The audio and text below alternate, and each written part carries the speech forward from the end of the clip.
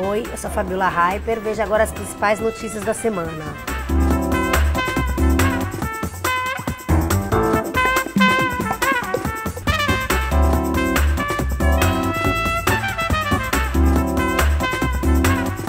E hoje a gente vai começar contando mais um capítulo da novela Stephanie Brito e Alexandre Pato. A mãe da Stephanie, que está sendo apontada como pivô da separação, ganhou um apelido nada carinhoso. Ela está sendo chamada de Diaba.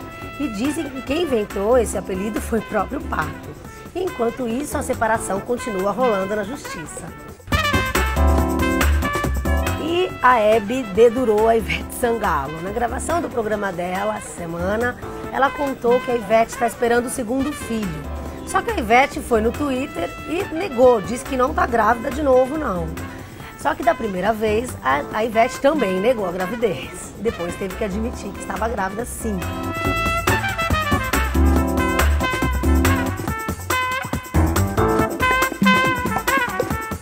Semana eu estive no lançamento da novela Ribeirão do Tempo, que estreia dia 18 na Record. E aconteceram algumas coisinhas lá. Por exemplo, a Mônica Torres não quis falar de jeito nenhum do fim do casamento dela com Marcelo Antoni. Falou que não fala da vida pessoal, combinou com o marido, essas coisas todas. E a Solange Couto, a eterna Dona Jura, estava com cara de poucos amigos, não queria falar com ninguém, estava meio antipática, com cara de sono.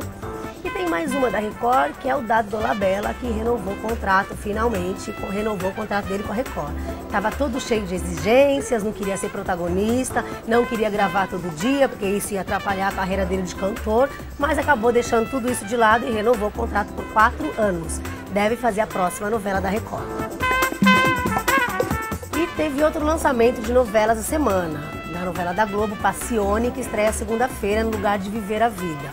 E o Marcelo Antoni estava todo nervosinho, xingando o repórter, porque vazou a informação de que ele vai ser um gay na novela. Ele disse que não, que não vai ser gay coisa nenhuma. Só que ele não leu direito a sinopse e o Silvio de Abreu mandou ele ler. Porque nessa sinopse diz que o personagem dele, com o passar do tempo, vai perder o interesse por mulheres. Por hoje é só, semana que vem tem mais e um beijo para vocês.